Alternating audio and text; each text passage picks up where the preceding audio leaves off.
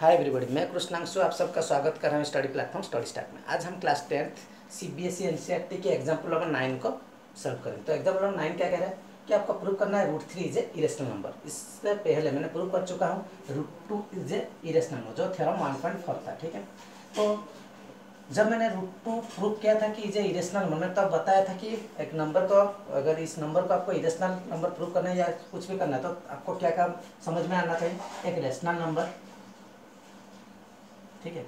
और एक समझ में चाहिए इरेशनल नंबर क्या है? और आपको थ्योरम 1.3 भी समझ में आना चाहिए। रेशनल नंबर क्या है? कोई भी नंबर जिसको आप फ्रैक्शन में लिख सकते हैं, इसका मतलब पी वाई क्यू फॉर्म में लिख सकते हैं, उसको आप कहते हैं rational number irrational number just इसका अपोजिट है, जिसको आप पी वाई क्यू फॉर्म में नहीं लिख सकते हैं, उसको आप इरेशनल नंबर कहते हैं। और थ्योरम 1.3 क्या है? अगर स्क्वायर को पी डिवाइड कर रहा है तो ए को भी पी डिवाइड कर रहा है। ये आपका थ्योरम वन पॉइंट थ्री ये भी मैं आपको समझा चुका हूँ वीडियो के माध्यम से। तो चलिए रूट थ्री एक इरेशनल नंबर इसको प्रूव करेंगे। और जैसे ही रूट टू को हमने जब प्रूव किया था, क्या क्या था कि रूट टू एक इरेशनल नंबर तो हमने आज़म कर लिया था कि root root two is a rational number इसी तरह हम रूट थ्री को लेट कर लेंगे एक रेशनल नंबर ठीक है? और हम जब आजूम कर रहे हैं, अगर वो फॉल्स हो जाए तो जो हमको गिवन है प्रूव करने के लिए ऑटोमेटिकली प्रूव हो जाएगा। ठीक है? तो मैं लेट कर रहा हूँ, या आज़म लिख लीजिए, जो भी लिखे है लिख लीजिए तो root three is a rational number ठीक है? मैंने आज़म कर लिया रूट थ्री का रेशनल नंबर ठीक है? तो अगर कोई भी नंबर रेशनल नंबर है तो आप इसको कौन से फॉर्म में लिख सकते हैं? पी बाई क्यू फॉर्म में लिख सकते हैं, मैं वही करूँगा। ना मैं रूट थ्री को इस प्रकार का लिख सकता हूँ पी बाई क्यू के फॉर्म में। इसमें तो कोई गलती नहीं। और पी एंड क्यू क्या है? बताया था। P and Q both are integers ये तो आपको मालूम है।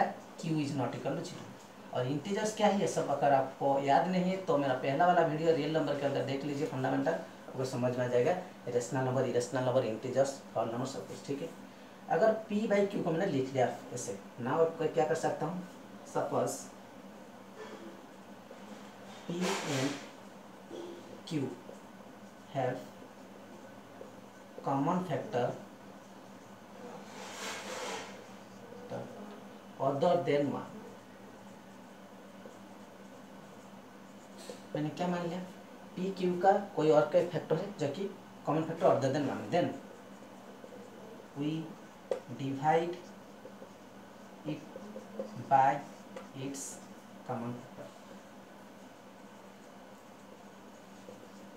मैंने क्या लिखा? मैंने मान लिया कि पी क्यू का कोई और एक फैक्टर है जो कि वन वन तो सभी नंबर में कॉमन फैक्टर रहता है, लेकिन और एक भी एक फैक्टर है। अगर कोई दोनों में एक कॉमन फैक्टर है, अगर कोई दोनों में कॉमन फैक्टर और इस नंबर में आप डिवाइड कर दें तो वो नंबर को प्राइम हो जाता है।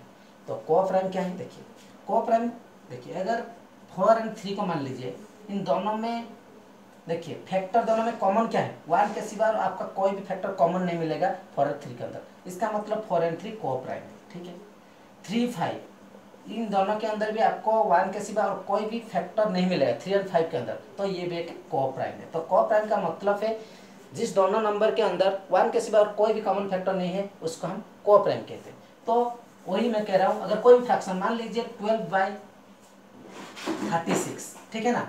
ट्वेल्व बाई थर्टी सिक्स है और ट्वेल्व और थर्टी सिक्स में कॉमन क्या है? ट्वेल्व है दोनों में। अगर ट्वेल्व दोनों में कॉमन है और ट्वेल्व को मैंने दोनों में डिवाइड कर दो ट्वेल्व को ट्वेल्व में डिवाइड करूँ तो वन और ट्वेल्व को थर्टी सिक्स में डिवाइड करूँ तो three one by three one by three एक क्या है? वन और वन एंड थ्री के अंदर कोई कॉमन फैक्टर है क्या? नहीं है। ओनली वन है। इसका मतलब one and three coprime है। मतलब क्या? है कोई भी अगर फ्रैक्शन है और इस दोनों में वन के सिवा और कोई कॉमन फैक्टर है, उस दोनों कॉमन फैक्टर को मैं डिवाइड कर दूँ तो वो को प्राइम में कन्वर्ट हो जाता है। इसका मतलब पी बाई क्यू तो एक था, क्या है? इसके से को प्राइम नहीं था, और मैंने क्या, किया इस पी एंड क्यू के नंबर में कोई कॉमन फैक्टर था? और इस कॉमन फैक्टर इस दोनों के अंदर मैंने डिवाइड कर इसको को प्राइम में कन्वर्ट कर दिया, ठीक है?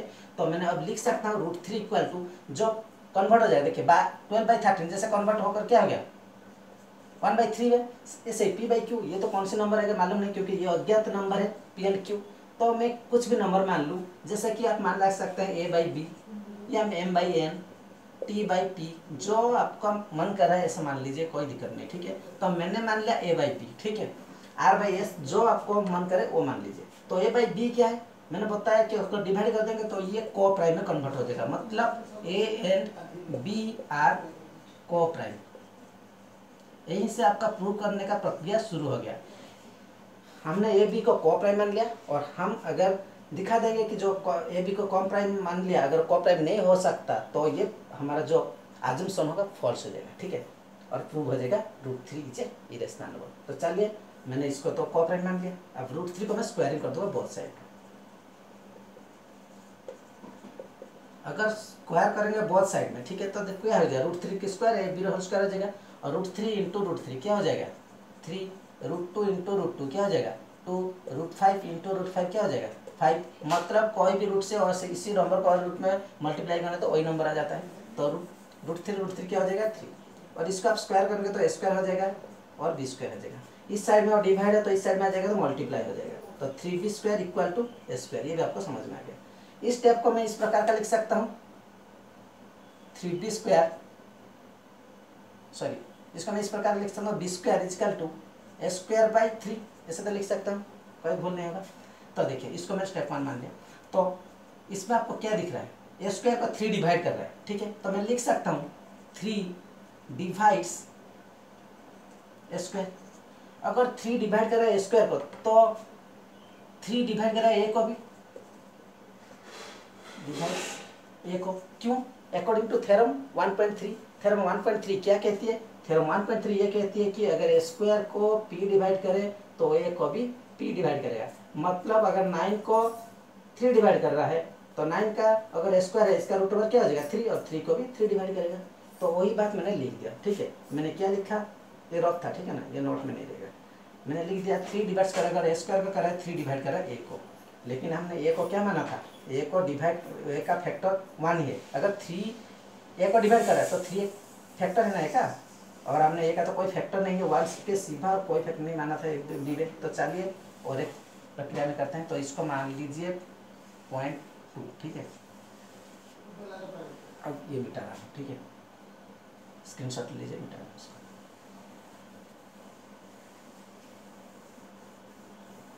देखिए, ये मैं अब लिख सकता हूँ A equal to three C C क्या है? एनी इंटीजर्स ठीक है?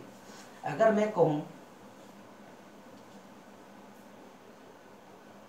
थ्री डिवाइड्स थर्टी सिक्स मैं इसको इस प्रकार का लिख सकता हूँ थ्री इंटू ट्वेल्व ट्वेल्व क्या है इधर? सी है, ठीक है ना? वही बात, मैंने क्यों थ्री से ले रहा हूँ? क्योंकि मुझे ए तो मैंने दिखा दिया किसका फैक्टर है, और बी को भी एक फैक्टर दिखाना है, ठीक है? इसलिए मैंने थ्री सी एक यानी इंटीजर से ठीक है? ये बात आपको याद रखना है, ठीक है? तो मैंने थ्री से मान लिया ए को। तो इसको पुट करना है कहाँ पे? इक्वेशन वन में। तो वही करेंगे। Put the value of A in equation one equation one में पुट करेंगे। इक्वेशन वन में पुट करेंगे। इक्वेशन वन क्या है? बी स्क्वायर तो लिख देंगे। ए स्क्वायर के प्लेस में थ्री सी लिखेंगे थ्री सी स्क्वायर क्या हो जाएगा? नाइन सी स्क्वायर ये तो आपको समझ में आ गया। बाई थ्री अब क्या हो जाएगा? बी स्क्वायर ये तो डिवाइड कर देंगे, अगर थ्री में थ्री में तो थ्री हो जाएगा, ठीक है ना? तो मैं डायरेक्ट लिख रहा हूँ। ये क्या हो जाएगा? थ्री सी स्क्वायर ये तो थ्री सी स्क्वायर हो गया। तो इस स्टेप को मैं इस प्रकार का लिख सकता हूँ कि B square by three equal to C square ये तो मैं लिख सकता हूँ। ठीक है? मैंने इसको पॉइंट थार मान लिया ठीक है? अब अब आप देखिए। आपको क्या दिख रहा है इधर? बी स्क्वायर को थ्री डिवाइड कर आपको देख रहा है। तो आप वही बात लिखेंगे। थ्री डिवाइड्स किसको डिवाइड कर रहा है? बी स्क्वायर को। अगर थ्री डिवाइड्स बी स्क्वायर को कर रहा है तो ऑब्वियसली थ्री डिवाइड्स बी को, क्योंकि थ्योरम 1.3 लिख देंगे अकॉर्डिंग टू थ्योरम 1.3 ठीक है? तो मैंने बताया था थ्योरम 1.3 क्या है? फिर बता रहा हूँ, अगर स्क्वायर को पी डिवाइड कर रहा है तो ए को भी पी डिवाइड कर रहा है, ठीक है? वही बात मैं बता रहा हूँ बार बार, ठीक है? तो मैं वही लिख दिया थ्योरम 1.3 के अनुसार। और आप अब देखिए, आपने ए एंड बी को क्या माना था? ए बी के वन के सिवा और कोई फैक्टर नहीं को प्राइम मतलब कोई भी फैक्टर नहीं। लेकिन आप अब देख रहे हैं कि ए का एक फैक्टर है थ्री और बी का भी एक फैक्टर थ्री इसका मतलब दो तो फैक्टर मिल गया है। इसका मतलब आप जो अजम्पन किए थे, वो फॉल्स हो गया। अब आप लिख सकते हैं our assumption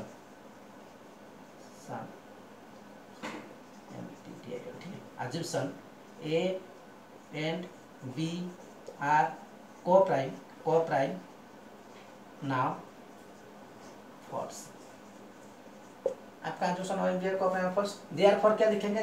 Therefore therefore root two is a rational number T I rational number